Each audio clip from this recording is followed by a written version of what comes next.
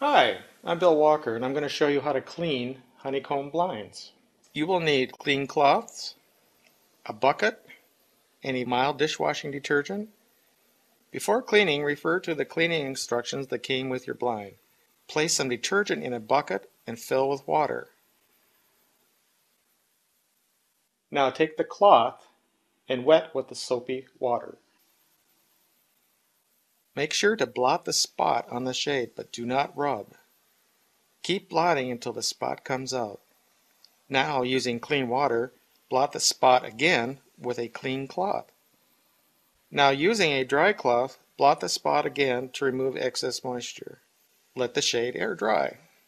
And that is how to clean honeycomb blinds.